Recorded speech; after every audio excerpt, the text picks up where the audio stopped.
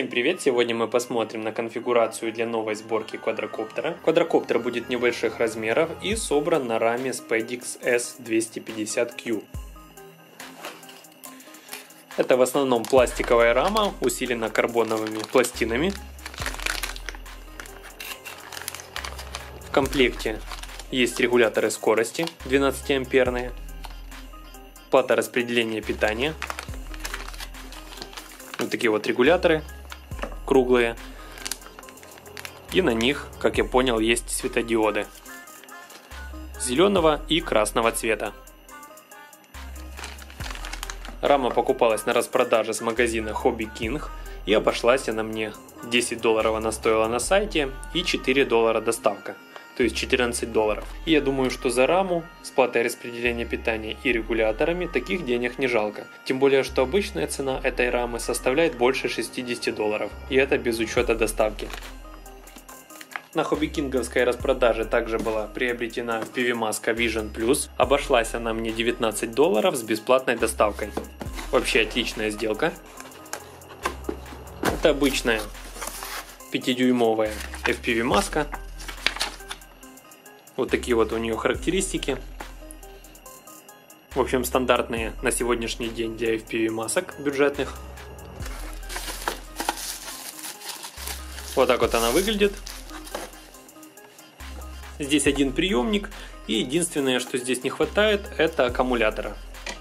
Обычный у нас T-коннектор, также есть переходник под круглый коннектор 5,5 мм.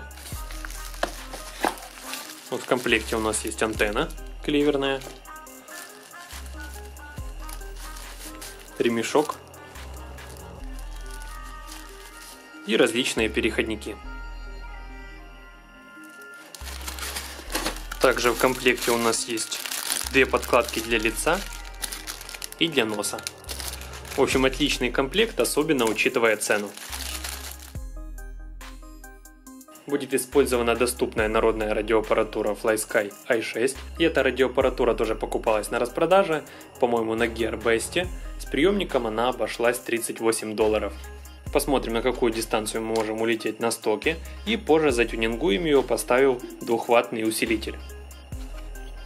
Также на этот передатчик я заказал пружину, для того, чтобы ручка газа у нас была всегда в центре. Потому что квадрокоптер сам будет удерживать высоту и позицию. И в этом нам поможет контроллер полета Radiolink Mini Pix. Это контроллер полета Pix Havk только в суперкомпактном размере. Производитель обращает внимание, что он размера контроллера F4,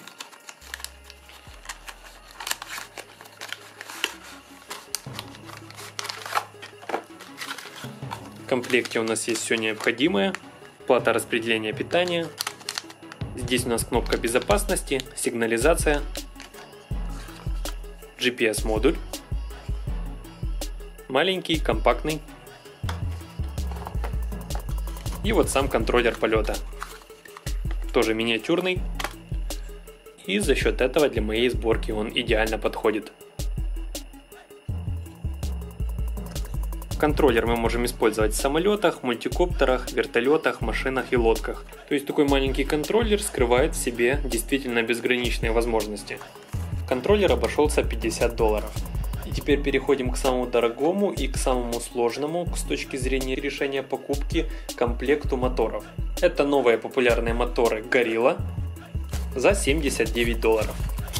Вот так вот они выглядят. Моторы у нас размера 2507 на 1500 кв.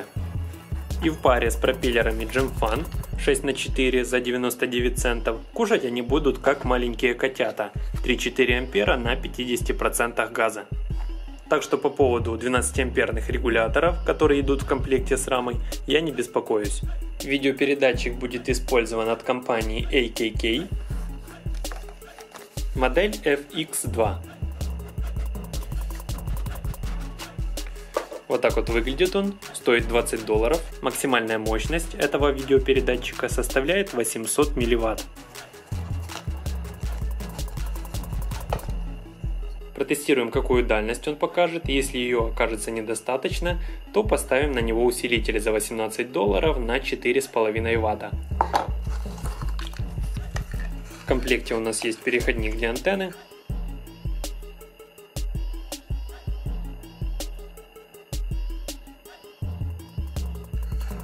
И необходимые кабели для подключения камеры и питания. Камера будет использована тоже от компании AKK сенсором Sony 600 TVL. Стоит она тоже 20 долларов. То есть это довольно-таки качественная камера средней ценовой категории, которая должна нам обеспечить приемлемую картинку. В комплекте у нас есть кронштейн, кабель для подключения. Здесь у нас OSD кабель для настройки параметров камеры. На видеопередатчик поставим новенькую антенну. Вот так вот она выглядит на 8 дБ. Также протестируем и другие антенны разной формы и мощности. Вот обычный кливер на 3 дБ, пагода на 5 дБ. И вот это тоже закрытый кливер на 8 дБ. И вот это пока что все, так что можем подбить начальный бюджет и скоро приступим к сборке. А на сегодня все, ссылки на все комплектующие будут в описании под видео. Спасибо всем большое за внимание и до встречи в следующем видео.